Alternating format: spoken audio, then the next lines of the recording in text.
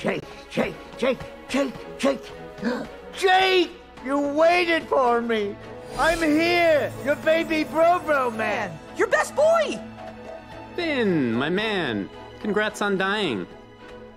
Mr. Fox? I, I. I wasn't expecting you.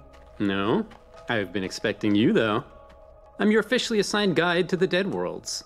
Dead question mark? Ask me. Can you take me to Jake? No. Okay, catch you later. Bye. I'm only a low level clerk guy, working slow and steady toward my ultimate goal a hypoallergenic pillow. What? That's that's really all you want? There are a lot of dust mites around here. Apparently, dust mites have souls and dies, which I did not know about. Thank you, thank you. Hey, I remember a lot more skeletons the last time I was here. That's all projection and perception. You're doing it right now. Look at that young meat. Whoa, you're right. I'm Toit? You can look like any past version of yourself in the dead worlds. Jeepers! Yes, it's disgusting.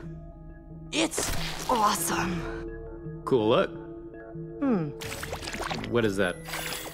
Beautiful. Whoa! Cute. I'm done. This is what you're going with, huh? Yeah, it's recognizable. So, the rules around here are simple.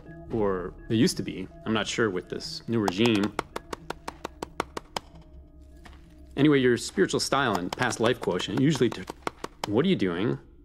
It's a signal Jake came up with so we could find each other if we got separated in death.